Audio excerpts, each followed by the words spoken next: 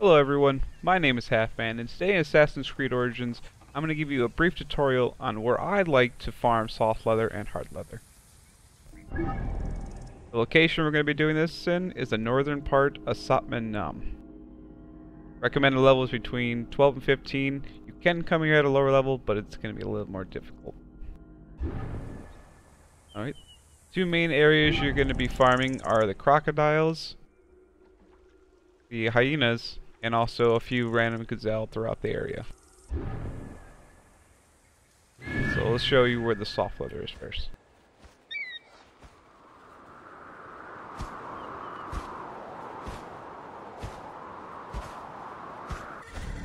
In this area you can get between 4 to 10 soft leathers.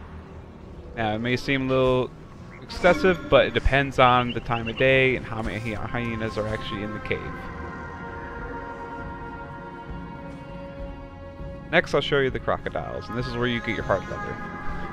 All along the banks of this area you can see between 4 to about 8 different crocodiles. It's fantastic. You can do this run between two or three times before you have to wait a couple more hours to replenish it.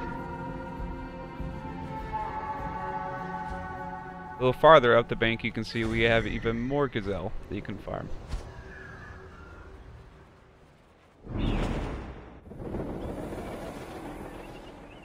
And there you have it. There's my small tutorial on how to farm soft leather and hard leather. If you liked the video, make sure you hit the like button. And if, to see more videos later on, make sure you hit that subscribe button. If you have any comments, concerns, put them right down below. Thank you. Have a good day.